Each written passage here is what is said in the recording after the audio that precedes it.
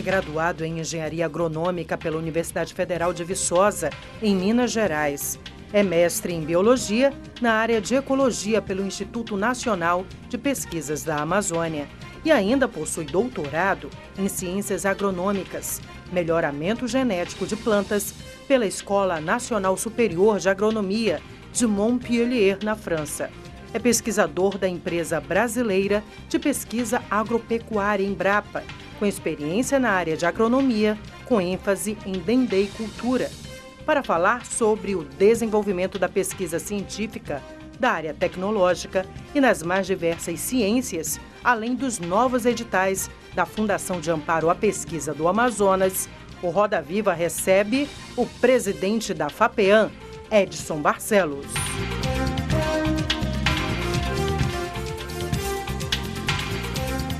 Olá, boa noite. Começa agora o Roda Viva Amazonas. Hoje a bancada de entrevistadores é formada pelos jornalistas José Augusto Souza, da TV A Crítica, Edilene Mafra, doutora em Comunicação, Sociedade e Cultura na Amazônia e coordenadora dos cursos de Comunicação e Design da Uninorte, e ainda José Pinheiro, doutor em Ciência da Computação e pró-reitor de Pesquisa, Pós-Graduação e Inovação do IFAM. Boa noite, sejam todos bem-vindos. Hoje nós teremos também a arte em tempo real do artista Euros Barbosa. Presidente da Fundação de Amparo à Pesquisa do Amazonas, Edson Barcelos, obrigada por ter aceito o nosso convite. Hoje nós vamos debater aqui sobre os projetos de incentivo à pesquisa científica e também os novos editais da FAPEAM. Eu começo fazendo uma pergunta sobre a questão dos cortes drásticos que a FAPEAN teve nos últimos anos, cerca de 40%, né, nos recursos destinados à pesquisa. Como que estão agora essa a expectativa para que isso seja reposto, né, esse, esse, déficit que a gente pode contar assim, né? É, na verdade, é, a, a Constituição Estadual determina que 1% da receita líquida do Estado seja disponibilizado para apoiar as atividades de ciência e tecnologia através ou pela FAPEAN.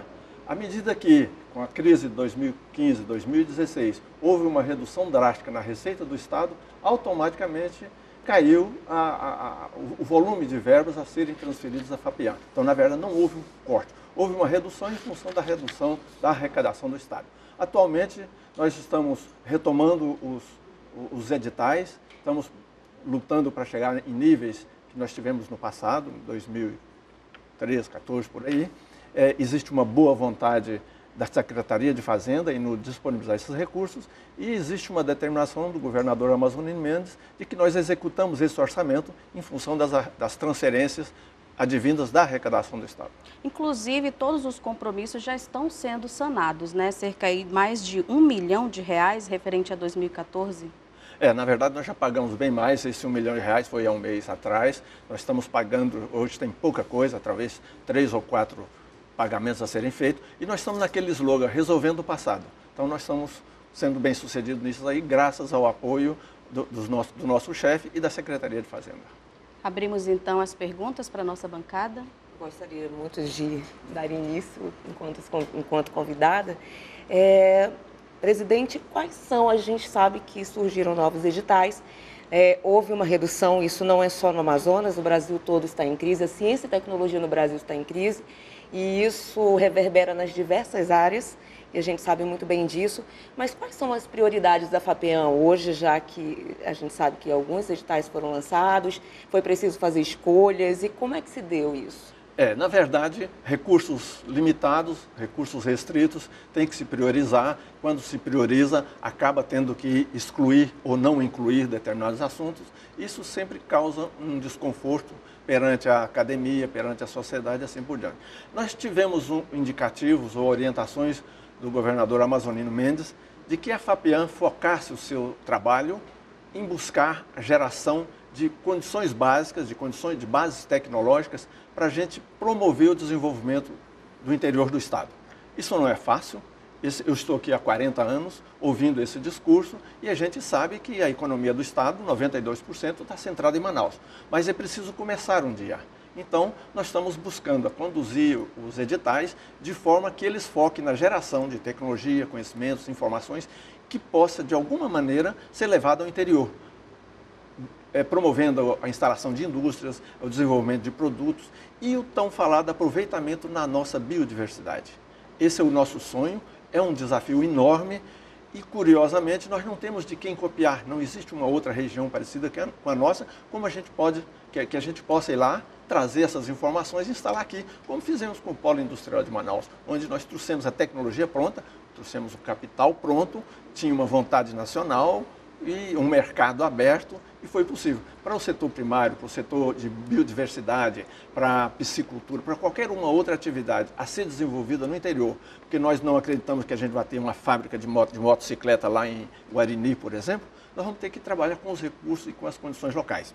E essas condições locais mostram que o nosso caminho é produção primária, onde a gente tem que buscar produtos que tenham mercado, que tenham boa adaptação na região, que a gente seja capaz de ser competitivo, a não ser alguns produtos que nós não temos com quem competir. Por exemplo, vamos produzir camu-camu. Hoje nós não teríamos competidores, mas dentro de 5 ou 10 anos o Sul estaria plantando camu-camu, São Paulo, vale, vale, da Ribeira já está plantando camu-camu. Isso é um exemplo. Então, é um grande desafio. Se fosse fácil, já teria sido feito, mas não é por ser difícil que nós não vamos ousar. E é por aí que nós estamos levando o problema. Eu, se eu não me engano, no histórico da FAPIAN já teve vários é, projetos, programas e até não reembolsáveis, né? E o que me preocupa, enquanto pesquisadora que sou, é quem vai executar isso, já que a gente sabe que o Amazonas também perde em relação no cenário nacional, vamos colocar assim, a outros é, estados em relação a doutores, pesquisadores, se a gente sabe que uma das maiores perdas com, essa, com esse corte de recursos foi a falta de bolsas para os nossos é. pesquisadores. Né? É, na verdade, a, a, a FAPIAN não olha só para a pesquisa, ela olha muito forte, fortemente para a capacitação de pessoal, para a formação de mestres e doutores. 60% do orçamento aplicado pela FAPIAN nos últimos 15 anos foi destinado a bolsas e auxílios para que os pesquisadores, além de ter uma melhor formação, fortalecer os cursos de mestrado, de graduação, inclusive, de, de, de, doutorado, eles pudessem ter recursos e meios para conduzir suas pesquisas, com reagentes, com equipamentos de laboratório, manutenção desses equipamentos, participação de congressos, publicação de artigos, assim por Quer dizer, a FAPEAM, ela apoia a pesquisa de diversas maneiras, ela apoia a ciência e a tecnologia, apoiando a formação e capacitação de pessoal. Nós temos um déficit muito grande de mestres e doutores, principalmente de doutores, e tem uma necessidade de ter recursos para que os poucos que nós temos tenham uma condição mínima de trabalho. Então, a FAPEAN trabalha nesse, nesse foco. É, todos os recursos da FAPEAN são não reembolsáveis. Agora é preciso que eles cumpram as regras do jogo, ou seja, é preciso que executem o que se propôs. E o objeto do projeto é a recompensa que volta para o Estado. Daí nós precisamos agora afinar, melhorar o foco para que as entregas dos projetos de pesquisa tenham uma aplicação mais direta ou mais rápida. A ciência ela é sempre válida. Tem uma ciência de curto prazo, que nós transformamos em tecnologia, tecnologia nós transformamos em inovação, inovação nós geramos produtos, processos, serviços, emprego, renda.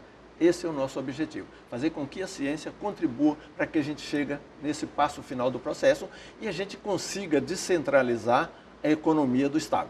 É muita pretensão competir com o polo industrial de Manaus, mas nós temos que começar algum dia. Isso já foi começado, a UFAM está aí, a universidade está aí fazendo pesquisas excelentes, o INPA está fazendo pesquisas excelentes, e nós temos agora a missão de catalisar com que essa base científica, essas pesquisas, sejam continuadas e convertidas com foco na geração de emprego e renda, ou seja, numa aplicabilidade. Nós queremos que os nossos pesquisadores pesquisem, publiquem e que esses resultados sejam aplicados, de preferência em benefício do nosso povo do interior, mas se não da sociedade brasileira. Boa noite. É, eu queria perguntar, doutor, o senhor tem 40 anos de pesquisa, boa parte deles ah, na Amazônia e aqui no Amazonas, né? Nessas suas andanças pelo interior eh, e aqui na capital também, que potencialidades que o senhor percebeu ah, que podem ser melhor exploradas? O, o, seu discurso fica muito claro desde quando o senhor assumiu a FAPEAN sobre a importância de, de se levar essa tecnologia para o interior. E eu, gostaria de saber do senhor que potencialidades o senhor percebeu ao longo desses anos, dessas décadas, que podem ser exploradas e ainda não foram até Obrigado pela pergunta. É, se fala muito em, na riqueza da biodiversidade da Amazônia e do Amazonas, porque o Amazonas é 60% dessa região. Então, nós temos aí escondido moléculas espetaculares. Agora, como achar essas moléculas? Como transformar esses ativos, essas moléculas, em ativos? Ou seja, em algum produto que nós possamos ir com ele até a prateleira, ir com ele até a mão do consumidor. E, na minha visão, e já é isso um consenso, não é possível desenvolver uma região como a Amazônia, como o Amazonas, sem tecnologia. Tecnologia implica em ter ciência atrás. O primeiro passo é fazer ciência. O segundo é pegar o conhecimento que se fez nesses projetos científicos e transformar em tecnologia, inovação e assim por diante. Então, não existe nenhum exemplo na Terra de uma região, principalmente difícil como a nossa, e eu vou explicar o porquê do difícil, que tenha conseguido desenvolver sem um forte suporte tecnológico.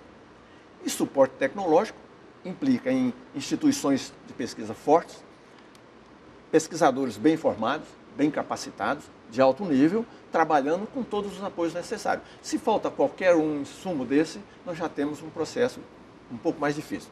E quando eu mencionei que a região é difícil, é, é mais ou menos assim. Primeiro, nós trabalhamos numa região que não tem assim muitos, muitos paralelos. É, o Sudeste Asiático talvez seja mais parecido com a Amazônia, mas está muito longe, é difícil, é outra língua, outra logística cultura. é completamente diferente. Completamente diferente a logística. Outra coisa, nós temos um clima difícil, principalmente quando a gente vai para a produção primária, para a agricultura, para a produção de alimentos. Nós temos uma logística muito complicada. Então, produzir qualquer coisa no interior, você tem que geralmente os valores da produção primária, os produtos, são produtos de baixo valor agregado, onde o frete acaba saindo muito mais caro do que o valor do produto. Então nós temos que superar tudo isso. Então a estratégia seria agregar valor lá no interior. Precisa ter tecnologia, precisa ter infraestrutura, precisa ter energia elétrica. São coisas que nós somos carentes.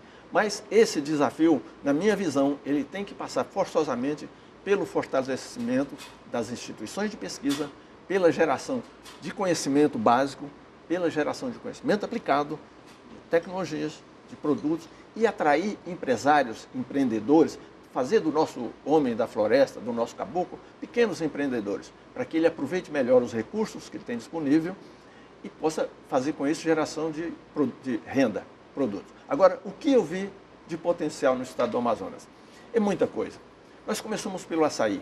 Nós temos um potencial de produção de açaí, eu sou apaixonado por açaí, então sou meio suspeito, certo? mas nós temos um potencial muito grande. Até 2011, a produção de açaí no Amazonas era basicamente para o nosso consumo.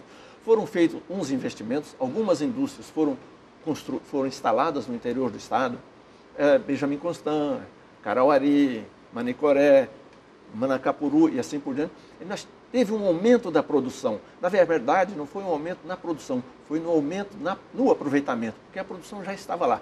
E nós temos inúmero de municípios hoje que estão lá parados esperando que venha um empreendedor e instale uma indústria lá. Aconteceu agora, por exemplo, em Codajás. Codajás teve uma história complicada, teve uma indústria apoiada pela Suframa, com uma série de problemas, uma cooperativa. Bom, saiu um empresário do estado do Pará, montou uma indústria de açaí em Codajás, processou o ano passado mil toneladas de polpa, esse ano ele já está superando duas mil toneladas de polpa. Então, são empresários do Pará que têm indústria de açaí no Pará que estão vindo investir no Amazonas.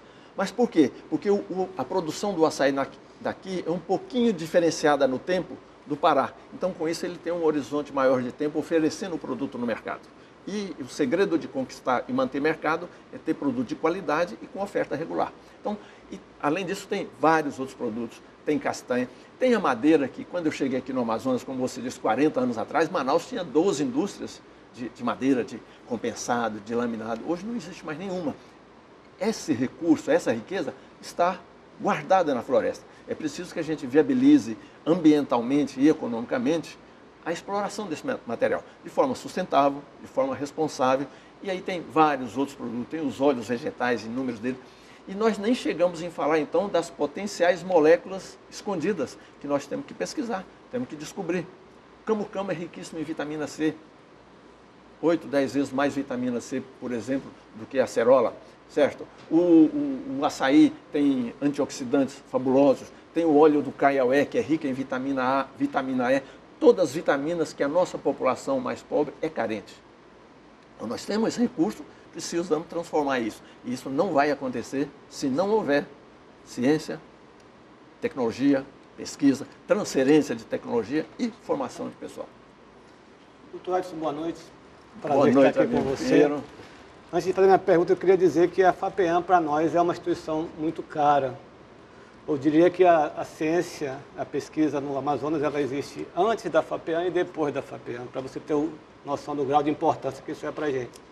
E o Plano Nacional de Pós-Graduação em Pesquisa, que é um documento capitaneado pela CAPES, escrito a várias mãos, já apontava a questão das assimetrias regionais no nosso país. E o Amazonas não está fora disso. Poucos doutores formados, e nós temos também uma assimetria que é interna. Então, eu tenho uma concentração razoável, se olhar para o estado do Amazonas, de pesquisadores na capital e isso não, não se expande para o interior. E quando eu formo alguém do interior que vem para a capital estudar, ele acaba ficando na capital e não retorna. Então, como tentar minimizar essa questão de fixação do pesquisador lá onde acontecem as coisas, para que ele possa identificar quais são os nossos arranjos produtivos locais, quais são as nossas oportunidades de transformar a nossa pesquisa em riqueza para o nosso povo. Pinheiro, interessante e obrigado pela sua pergunta, porque ela me dá a oportunidade de justificar alguns comportamentos, algumas pequenas mudanças que nós fizemos nos últimos editais. Nós estamos privilegiando atividades que possam ser executadas e que sejam direcionadas para o interior. Mesmo que ela não seja executada lá, mas que o resultado seja aplicado para lá. Nós temos um, um a, ciência na, na FAPEAN começa muito cedo. Começa com o PAC, que é pequenos, tipos aprendizes Sim. nas escolas, primária, secundária e intermediária, onde é concedida uma bolsa para os alunos sobre a orientação de um professor, ele começa a fazer, ele começa a tomar contato com a ciência, começa a descobrir o que é ciência. E nós estamos privilegiando essas bolsas para o interior. Para você ter ideia, na última, no último edital, são 540 bolsas, nós destinamos 400 bolsas para o interior e só apenas 140 bolsas para a capital.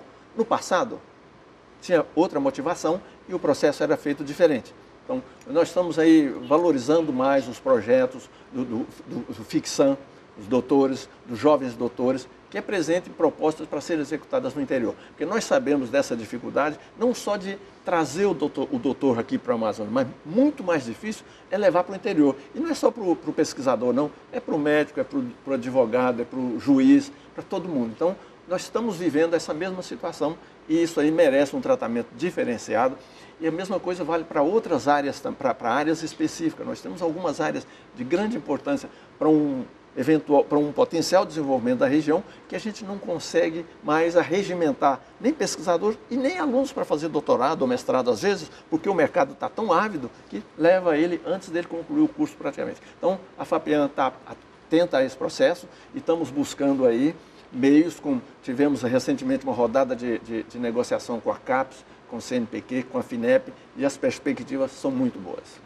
Nós estamos na entrevista com o Dr. Edson Barcelos, presidente da FAPEAM. Nós vamos ao intervalo e voltamos já.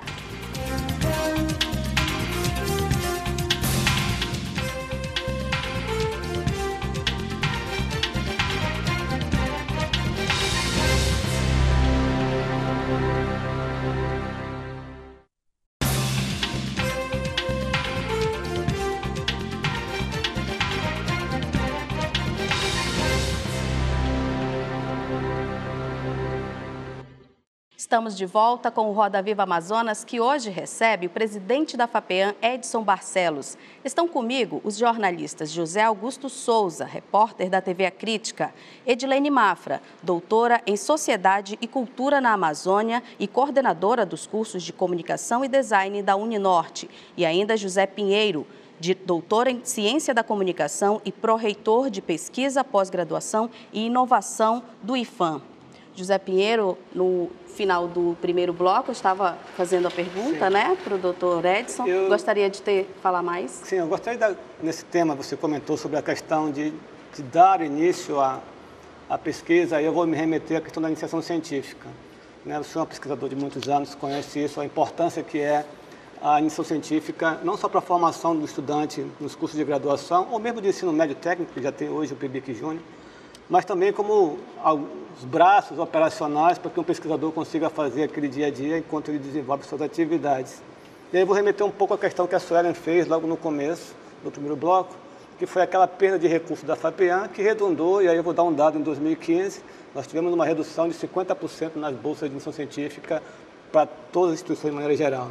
IFAM, UFAM, UEA, as particulares que tinham esse tipo de programa. Pergunta, né, otimista minha, com essa pequena retomada, será que tem aí no horizonte uma possibilidade de a gente conseguir recuperar esse quantitativo de bolsa de iniciação científica, dada a sua importância como formação de base para os novos cientistas e pesquisadores? Com certeza. Nesse ano, nós já estamos recompondo uma parte, não aos níveis que tinha no passado, mas à medida que melhora a arrecadação do Estado, que melhora o orçamento da FAPEAN, com certeza isso aí vai ser olhado com muito carinho, porque nós entendemos que essa é a mão de obra essencial para fazer os laboratórios funcionar e para tornar os pesquisadores muito mais produtivos. É, a título de, de complementação, é, a FAPEAN já financiou, já concedeu bolsa para mais de 2 mil doutores e 3.500 mestres aqui na região. Infelizmente, nem todos continuaram aqui, muitos foram embora, mas isso, sempre existe essa troca. Então, nós já tivemos uma, uma, já fizemos uma grande contribuição, mas nós entendemos que isso é muito pouco. E a FAPEAN quer fo focar cada vez mais nesse processo. Agora, bolsa para o, para o pesquisador, fazer mestrado, para o pesquisador fazer doutorado, para o professor, e com aquele auxílio necessário para que ele possa fazer a pesquisa dele. Porque se nós dermos só a bolsa, ele não vai ter os meios, os reagentes, as condições de trabalhar. Então, o pacote é fechado. É a bolsa para o pesquisador, é, o auxílio de pesquisa para comprar os reagentes, fazer todo o processamento, e o estagiário ou bolsista, PIBIC Júnior, que é o nosso PAIC, para ajudá-lo, para aumentar a capacidade de trabalhar. Então, a FAPEAN, esse processo não é novo, isso já existe, foi concebido desde o início assim, nós estamos valorizando e implementando esse processo. Doutor Edson, a FAPEA completa este ano 15 anos, né? No próximo dia 21 de maio. Eu gostaria de saber como é que está aí o nosso quadro de doutores, mestres, quanto, qual o nosso número e como nós estamos em relação ao restante do país. É, tem alguns números que são desfavoráveis. O Amazonas tem uma, a Amazônia, de um modo geral, ela é extremamente desfavorável, ela só, só ela não ganha nem no Nordeste. Na verdade, a Amazônia é o último local em termos de, nessa relação mestres e doutores. Se nós pegarmos a população da Amazônia, aí fica mais difícil a gente particularizar o Amazonas, mas o, a Amazônia tem em torno de 13,5%, 14% da população brasileira. Teoricamente, a gente precisaria ter a mesma proporção de doutores que tem no Brasil, mas essa relação é muito desfavorável. Nós temos uma quantidade muito pequena comparado com o sudeste do país, comparado com a região leste, comparado com o sul e até mesmo comparado com o nordeste. Mas e, também é compreensível isso. É, as dificuldades de se deslocar para cá e a falta de oportunidade que tinha os, os, nativos, as pessoas que são daqui, em cursar um, uma faculdade, fazer um curso superior, fazer um mestrado, fazer um doutorado. Essas muda, isso está mudando com uma certa rapidez, com a criação da UEA abriu oportunidade para muita gente, a criação de programas de mestrado e doutorado, tanto na UEA, mas o fortalecimento da, da UFAM, Newton Lins e outras instituições, até privadas, que estão entrando nessa área, isso vai melhorando cada vez mais. Agora, é um caminhar um pouco lento para as necessidades da região, para as necessidades do estado do Amazonas. Nós precisamos acelerar isso. E aí, o que nós temos feito? Temos buscado os órgãos federais, Ministério da Ciência e Tecnologia, CAPES, CNPq, para nos ajudar a aumentar a nossa capacidade, ou seja, eles entram com uma parte dos recursos, nós complementamos esse recurso, aumentamos o número de bolsa, aumentamos o número de auxílio, aumentamos os bolsistas júnior, os PIBIC, os PAICs, para que a gente aumente essa capacidade. É, nós temos uma expectativa muito boa, tivemos já uma reunião com o ministro Kassab no, na reunião do CONFAP, que é o Conselho Nacional das, das Fundações de Amparo, em Florianópolis há um mês atrás, e as perspectivas estão sendo muito boas porque eles tiveram uma perda muito maior do que nós. Então, eles estão buscando recompor, estão é, é, refazendo os nossos acordos de cooperação, estão é, voltando a transferir recursos e, à medida que eles transferem recursos, nós estamos empenhados em fazer com que o Estado deposite a contrapartida e aí nós estamos tendo a sensibilidade da Secretaria de Fazenda e do governador, porque não adianta o recurso vir da CAPES, vir do CNPq, vir da FINEP, se nós não botarmos a contrapartida, nós não podemos executar os projetos. E a gente tem lutado muito para evitar é, muito atraso na liberação dos recursos. faz o projeto, libera um recurso hoje, o outro é para liberar daqui seis meses, não se libera esse recurso. Isso é um prejuízo muito grande. A pesquisa não pode ser descontinuada, não, dá, não tem um interruptor de liga e desliga. Começou, você tem que continuar. Então, esse é o, o, o que nós estamos procurando, estamos negociando.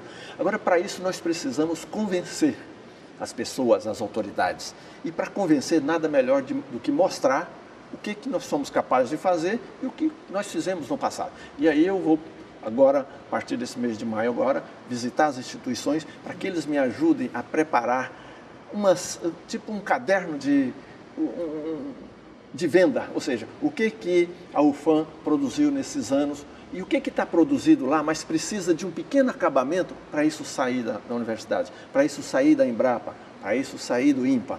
Às vezes está faltando pouca coisa para que nós possamos lançar editais para pesquisas complementares, ou seja, para valorização dos primeiros resultados desse processo. E não precisa ser o próprio pesquisador que fez a pesquisa que vai fazer o segundo projeto. Pode ser da equipe, pode ser até um outro pesquisador. Ele sabe que tem um projeto iniciado, sabe que tem um resultado preliminar, e a partir dali ele dá continuidade e leva esse processo adiante. Então, esse é um dos grandes desafios e nós estamos contando aí com o apoio tanto da, dos órgãos federais, mas muito mais com o apoio interno nosso, dos nossos políticos locais. Eu gostaria de fazer uma pergunta, aproveitando é, o que foi explanado aqui, é, essa questão da formação, da fixação é, da, do capital intelectual, e quando eu falo isso, eu estou falando em todos os níveis, né? É, eu acho que essa é, deve ser uma prioridade, porque o governo do estado investe muito alto, formar um doutor, formar um mestre, né? É um investimento assim muito alto para perder para outras regiões, considerando que fomento em pesquisa, né, é, vamos dizer assim, é dividido de acordo com a, o número de mestres e doutores, né?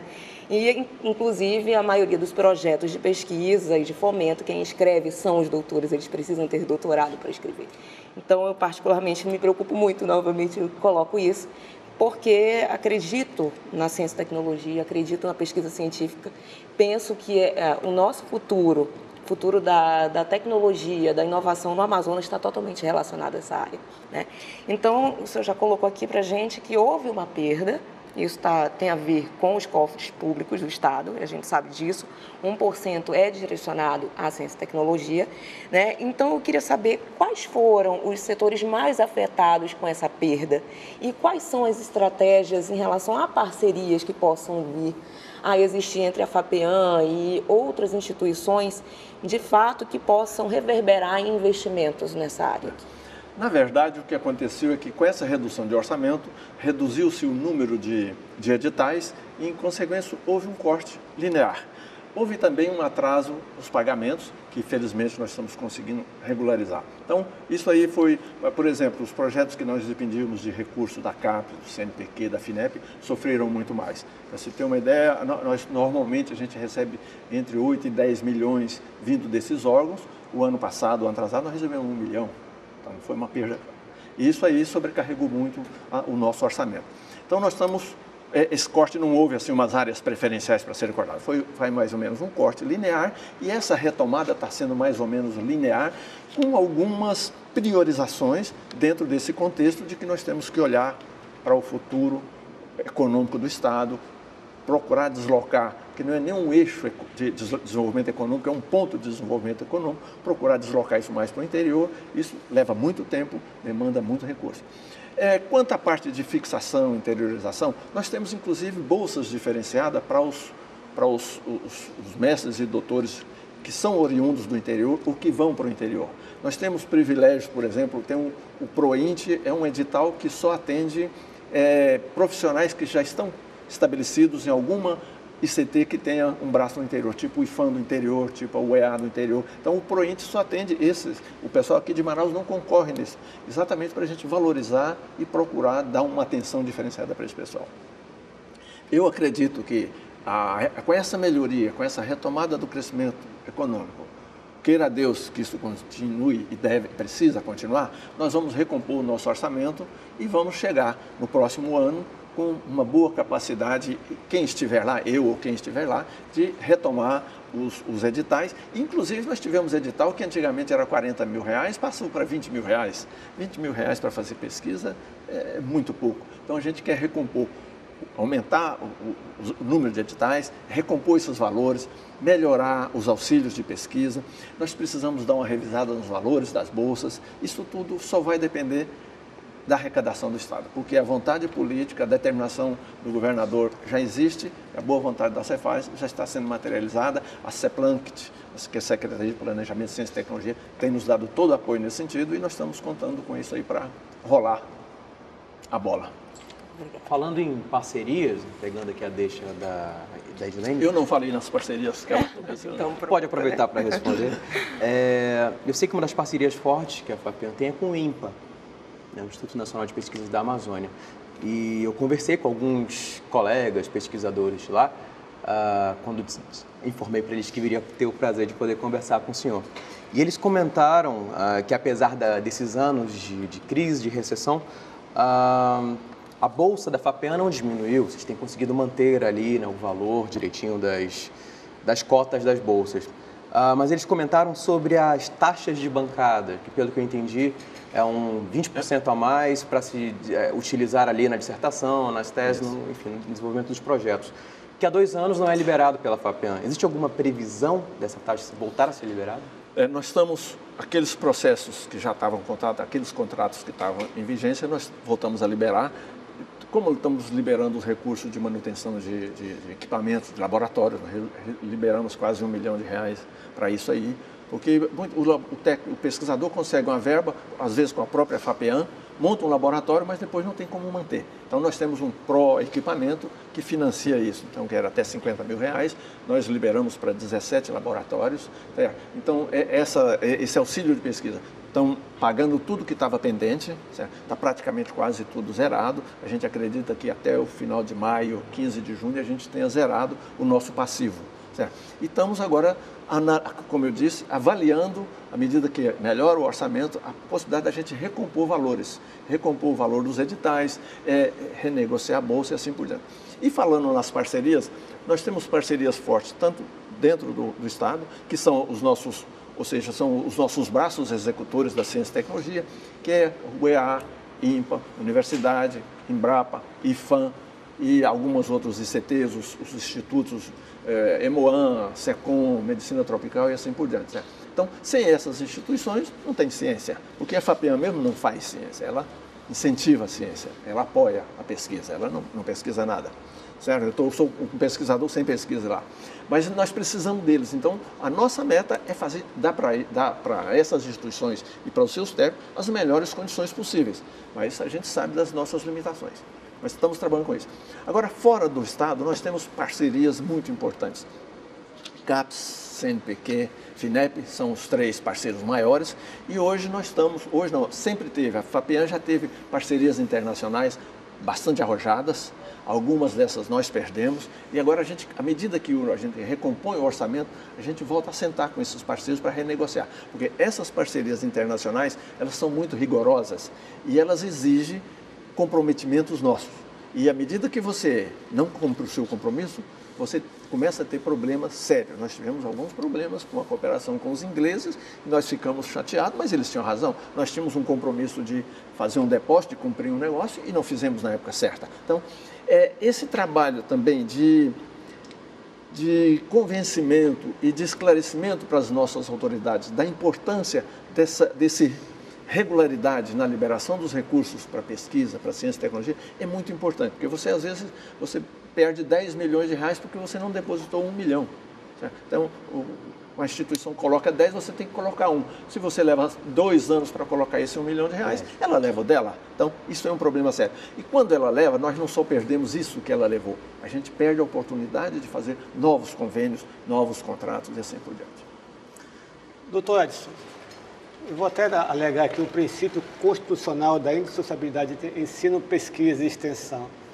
Como transformar essas pesquisas que são fomentadas pela FAPEA em algo que retorne, inclusive financeiramente, para o Estado. Quer dizer, como atuar com a extensão tecnológica, aí eu estou falando sobre empreendedorismo, sobre a questão das startups, das incubadoras, de, de, da transferência de tecnologia, né? como que a FAPEM pretende talvez tratar isso como algo estratégico, para que as nossas pesquisas, de certa forma, voltem para a sociedade, inclusive de maneira de recursos que possam ser feitos através da tecnologia e de desenvolver aí possíveis empresas novas.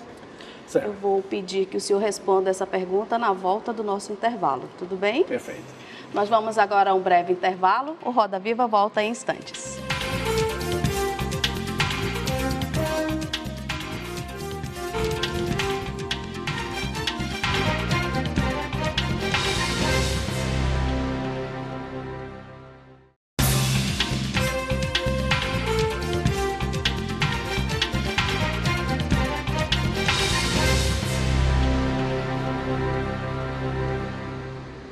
Estamos de volta para o último bloco do Roda Viva Amazonas desta quinta-feira, 3 de maio de 2018. Nosso entrevistado é o presidente da FAPEAM, Edson Barcelos. Na bancada de jornalistas estão comigo José Augusto Souza, repórter da TV A Crítica, Edilene Mafra, doutora em Sociedade e Cultura na Amazônia e coordenadora dos cursos de Comunicação e Design da Uninorte, José Pinheiro, doutor em Ciência da Computação e pró-reitor de Pesquisa, Pós-Graduação e Inovação do IFAM, e ainda o artista plástico Euros Barbosa, que hoje faz a caricatura, a arte em tempo real do Dr. Edson. No, no final do segundo bloco, o José Pinheiro, doutor José Pinheiro estava fez uma pergunta, né? Sim. Vamos repetir para a gente retomar. Pergunta boa. Uma claro, ótima pergunta, é, inclusive. É uma relação que envolve, na verdade, a indissociabilidade entre ensino, pesquisa e extensão. E aí eu remeto à questão da extensão tecnológica. Como pegar essas pesquisas e tirar da prateleira?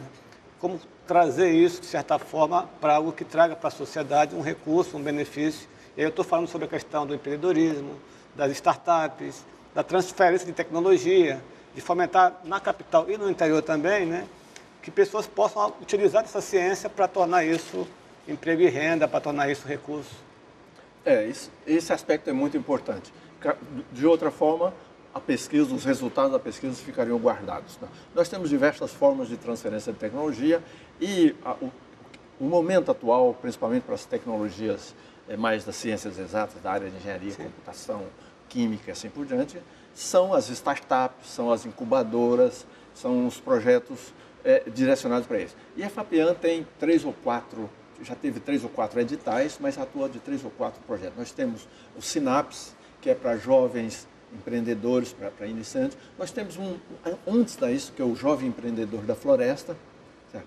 Temos o Sinaps, temos o Tecnova, temos o Pro Incubadora, são projetos que nós precisamos, a partir de agora, e com essa melhoria de orçamento, nós precisamos incrementá-los. Nós temos que fortalecer esses processos. Primeiro, porque são processos ainda que ainda tem muitas possibilidades de fuga, ou seja, você tem uh, o espírito empreendedor do nosso, do nosso estudante, do nosso recém-formado, ele ainda não está bem afinado e ele tem um risco de insucesso muito grande, certo?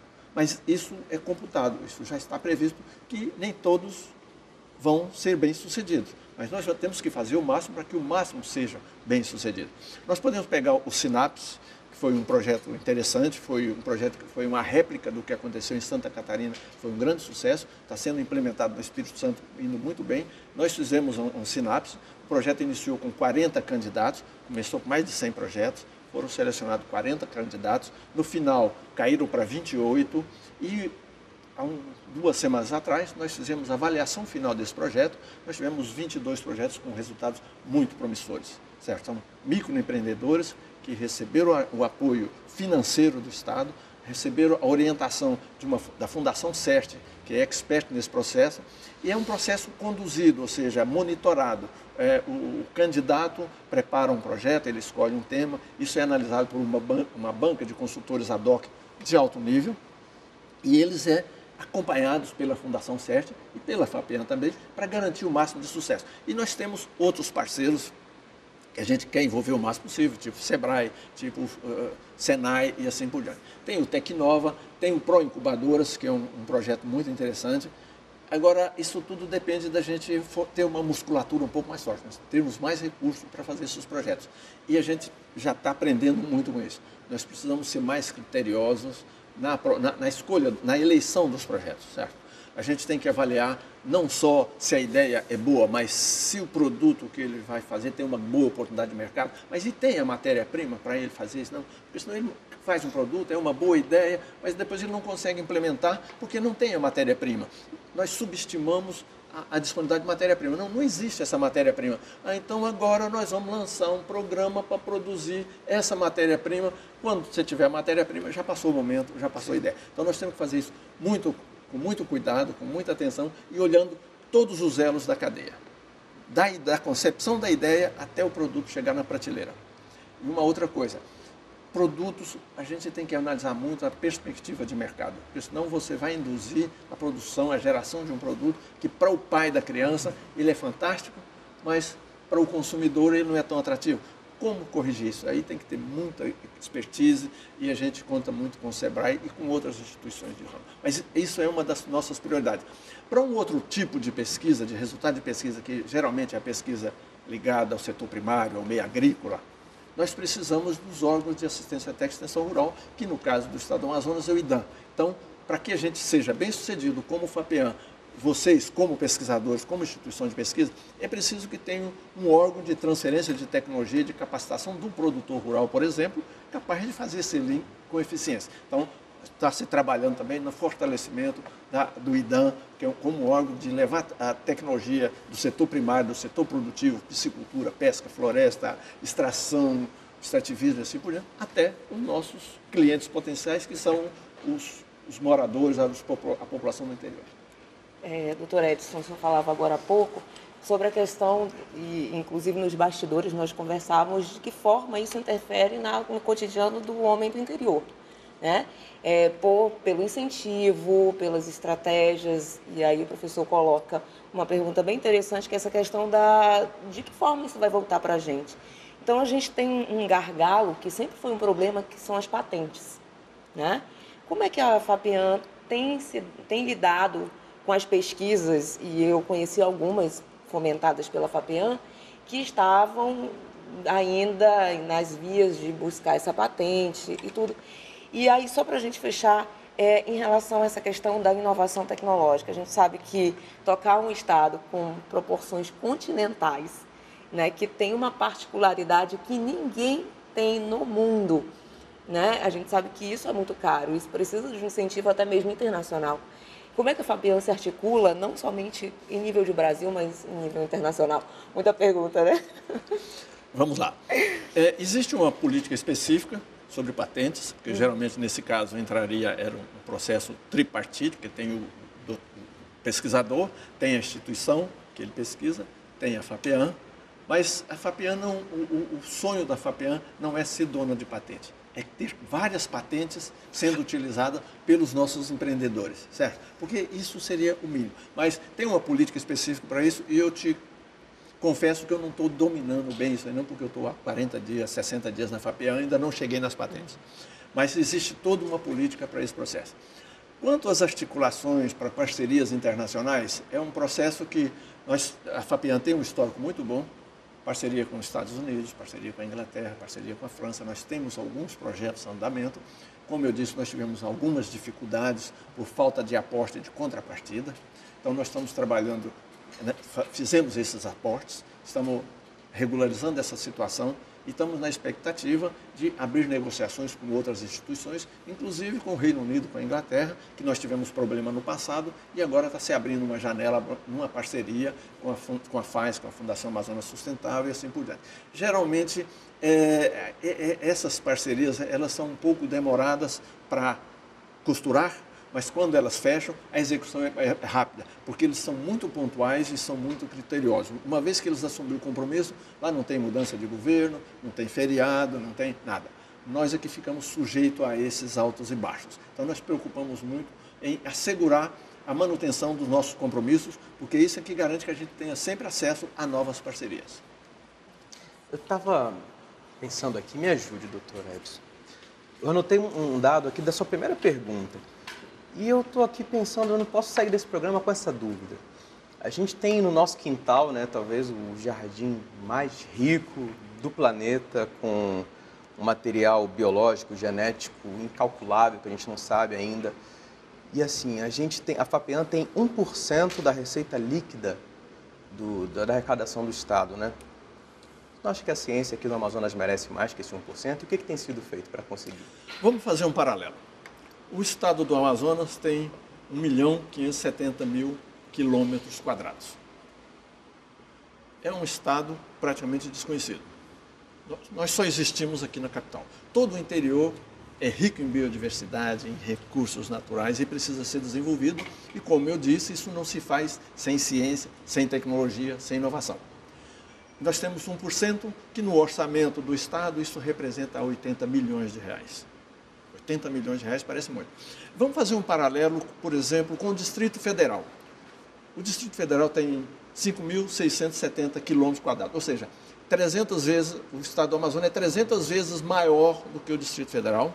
Certo? Lá é cerrado, toda em volta do Distrito Federal é cerrado, onde já existe tecnologia para você cultivar de soja, a criar carneiro, a plantar maracujá e tudo Então, ele pode absorver tecnologia de toda a sua redondeza. Nós não temos de quem absorver. Então, e eles têm lá um orçamento de mais de 200 milhões de reais para fazer ciência e tecnologia para um, um, um, um, território de uma complexidade, complexidade muito menor do que a Amazônia. Então, por isso eu te digo que 80 milhões para nós é muito pouco. Agora, como aumentar isso? Nós temos duas maneiras de aumentar. Rezar muito para que a arrecadação cresça, para que o mercado reaja, para que a economia reaja. Infelizmente está acontecendo. E outro é a gente mostrar para os nossos políticos que vale a pena investir em ciência e tecnologia. Mas não é mostrar só com discurso, é mostrar com resultado. Mostrar com tecnologia, mostrar com casos de sucesso, pegar tudo que nós temos dentro do IFAM, produto de ciência e tecnologia, tudo que nós temos na Embrapa, tudo que nós temos no INPA, tudo que nós temos na universidade, fazer um book bonito, todo colorido, levar para ele e mostrar para ele que aquilo é verdade, aquilo não é sonho de pesquisador, aquilo ali pode ser implementado qualquer hora. Fazer rodadas de negócio, atrair investidores e fazer isso acontecer. Como a gente pode começar a fazer com açaí imediatamente, certo? Com tantas outras coisas no interior, porque já existe algum conhecimento disponível. Então, esse é o grande desafio não só da FAPEAN. E quando eu saio aí fora para conversar, eu sempre tenho uma, um, um, chaveco para dar. Porque lá fora todo mundo se sente no direito de dar palpite na nossa vida. Então, o que eu digo para o pessoal, olha, a, a Amazônia, o Amazonas, não é um problema só nosso. Isso é um problema de todos nós. Então, a responsabilidade também não é só dos amazonenses, é uma responsabilidade nacional, se não mundial. Então, se todo mundo pode dar palpite, por que, que todo mundo não dá contribuição? Então, vamos ajudar, vamos proteger, vamos defender, mas não só com discurso, com bandeirinha, mas vamos defender aportando recurso, orientando, contribuindo, participando. É isso que a gente espera da sociedade e é assim que, como presidente da FAPEAN, eu vejo esse processo, certo? Eu estou lá há dois meses, 70 dias, é muito pouco, mas já estou começando a tomar pé da situação. É um desafio enorme que a gente não sabe até onde nós vamos conduzir o barco. Mas enquanto estiver no barco, a nossa prioridade é fazer com que a pesquisa traga o mínimo possível de retorno para a sociedade amazonense no curto prazo. Como você disse, eu tenho 40 anos de pesquisa nos próximos 40 anos eu preciso ver alguma coisa, porque senão eu vou partir e não vou ver a nossa rica biodiversidade valendo o que ela vale, não vou ver a nossa floresta em pé valendo mais do que uma pastagem e assim por diante. E a sociedade já está começando a ficar cansada com esse discurso. Nós precisamos botar isso em prática. Nós Aí, temos espaço para mais uma pergunta. Sim, eu queria até pegar o gancho do José Augusto, né? Eu também acho que 1% é pouco. É tão fácil motivos, dobrar, né? né? 2%? Não é tão fácil dobrar, na verdade, mas é pouco. Por dois motivos. Primeiro que o nosso custo Amazônia traz para a gente, pesquisador, um valor muito mais caro. Então, uma bolsa que você usa em Brasília, o que você usa em Minas Gerais, ela não dá para fazer aqui metade das coisas no nosso estado e dá para fazer um quarto se for no interior. Lógica então, quer dizer, nós temos uma lógica perversa de pouco recurso e um custo, custo muito alto. Então, seria bom realmente que nossos governantes tivessem, quem sabe no futuro, né, quando melhorar também a situação, perceber que é um investimento. Sem tecnologia não é custo, é um investimento. Você põe o dinheiro agora e, se bem feito, ele vai lá na frente retornar para a sociedade. Agora, doutor, eu queria fazer, acho que minha última pergunta. Eu, tinha, eu teria várias aqui, se se pudesse ter aqui duas horas de programa, seria, seria uma conversa né?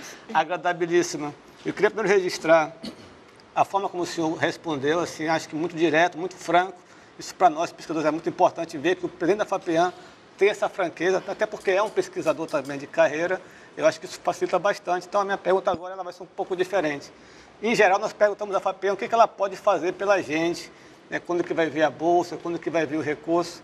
Em tempo de recursos escassos, minha pergunta é o contrário. Né? O que, que nós, instituições né, de pesquisa e desenvolvimento, o que, que nós, pesquisadores, podemos fazer junto à FAPEAM para talvez usar melhor esse recurso, para talvez trazer para a FAPEAM resultados que ajudem a ir em busca de mais recursos. Nessa relação difícil, o que, que a gente pode ajudar a FAPEAM? Os comunicadores também, o que, que a gente pode fazer? O, Isso, exatamente. O, Pedro, eu não tenho compromisso com o erro. Se eu tiver errado, a minha maior vontade é mudar para acertar. Então, sempre que vocês notarem que eu estou fazendo alguma errado, alguma coisa errada, por favor, acenda, me telefone, me avisa. Edson, olha, você pisou na bola aqui, ou você fez isso, fez aquilo. Eu tenho humildade e idade suficiente para corrigir de rumo, certo? Errar não é pecado. O pecado é permanecer no erro. Então, isso é muito importante. E eu quero aproximar cada vez mais da academia, dos pesquisadores da sociedade, para a gente poder defender, inclusive, melhor a FAPEAM, o INPA, a Embrapa, a universidade, o IFAM. Porque é, a gente vive num momento em que não se valoriza muito a ciência, a tecnologia. Sempre que a gente anda por aí, quando a gente fala com alguns políticos, a gente tem que explicar por que, que isso é importante. Mas por que, que isso é importante? Porque existe na cabeça deles, e talvez a falha seja nossa, dos pesquisadores, aquela ideia de que esse dinheiro que eles estão botando não seja investimento, seja dinheiro perdido, seja custeio. E, e investimento em pesquisa, em formação de pessoal, isso é investimento no mundo todo. Vê a Coreia do Sul, que, que, que é hoje, vê o Israel, que é hoje, vê o Japão, que é hoje. Tudo isso é consequência de investimento, de pesquisa, de ciência e tecnologia. Isso passa por formação de pessoal. Eu, se eu tivesse autoridade suficiente, eu focava durante cinco anos os recursos da educação do, do Brasil em matemática, física, química e as engenharias de um modo geral. Eu tenho certeza que o Brasil sairia desse patamar que está em que a gente. O que, que nós exportamos? Matéria-prima. Nós exportamos commodity. commodity. Nós exportamos uma tonelada de ferro por 110 dólares e compramos um quilo de celular por 3 mil dólares, sei lá. Então, nós só vamos mudar isso o dia que nós tiver uma base tecnológica, o dia que nós tiver capacidade, nós tiver profissionais de alto nível. E a gente ainda tem mais. Quando a gente tem um profissional que começa a se destacar, a primeira coisa que ele faz é, embora. é ir embora. Então, nós precisamos criar condições para reter esses profissionais. Nós precisamos criar desenvolvimento local para que ele absorva disso. Para mim, não tem nada que dói mais do que ver uma família humilde pegar o seu filho, botar na faculdade, ele passa quatro anos estudando e a, e a família sonhando que, na hora que ele formar, ele vai melhorar de vida. Ele forma e não consegue emprego. É, é triste. Eu conheço. Sim bem próximo de mim um, caso desse em que a menina se formou em engenharia florestal e está apertando parafuso no distrito industrial. Quer dizer, ela voltou para onde ela estava antes de entrar na faculdade. Então, isso é responsabilidade nossa, como homens públicos, como gestores públicos, é responsabilidade da sociedade, é responsabilidade dos nossos políticos. Nós precisamos criar desenvolvimento, nós precisamos dinamizar a economia do Estado para absorver os nossos filhos nos novos empregos, nas novas oportunidades que serão criadas. Sem isso, nós vamos continuar dependendo do, do polo industrial de Manaus. E vai que vem um gaiato lá em Brasília e aperta no botão errado e des, desliga o polo industrial de Manaus. Dá uma canetada. Onde nós vamos ficar? O é. Amazonas vai ficar junto com o Amapá, tipo aqueles cavalinhos lá do futebol, lá no final da fila. Porque nós não desenvolvemos outra maneira de sobrevivência. O Pará desenvolveu, o Rondônia, o Acre, Roraima e o Amazonas e o Amapá, nós estamos aí ainda dependendo do, de, de repasse ou do polo industrial de Manaus. Eu não sou contra o polo industrial de Manaus. Eu sou contra nós não termos utilizado tudo que o polo industrial nos deu para criar uma economia forte, pujante, desenvolver e aproveitar todas as dádivas que a natureza nos deu, que nós chamamos de biodiversidade. Nós chamamos. Hoje nós somos grande importador de tambaqui. Ciência, tecnologia, pesquisa, tudo isso rende muito assunto. A gente pode ficar aqui horas conversando, mas infelizmente nosso tempo é curto, temos apenas uma hora. Eu gostaria de agradecer a presença de todos, José Augusto Souza, da TV A Crítica, José Pinheiro, doutor em, comunica... em Ciência da, da Computação Isso. e pró-reitor do IFAM. Foi um prazer, E Edilene Mafra, também doutora em Sociedade e Cultura. Satisfação, aguardo as pautas, que a gente tem muita coisa já que vem é, fomento pela frente, né? Eurus Barbosa, que sempre nos presenteia com a sua arte em tempo real, ele vai fazer agora a entrega da caricatura do Dr. Edson. Eu espero que ele tenha caprichado, né? Porque... Sempre, oh, sempre você, foi, você conseguiu ver até meu cabelinho, isso é porque o fotógrafo normalmente não vê. Muito obrigado. De nada. O Roda Viva Amazonas agradece, agradece a presença do Dr. Edson Barcelos. Por hoje é só, a gente fica por aqui. Siga nossas redes sociais, tem o Facebook, o Instagram e também você pode acompanhar nossa programação pelo aplicativo Humano. Você pode baixar no seu celular e assistir tudo o que acontece aqui na TV Cultura do Amazonas.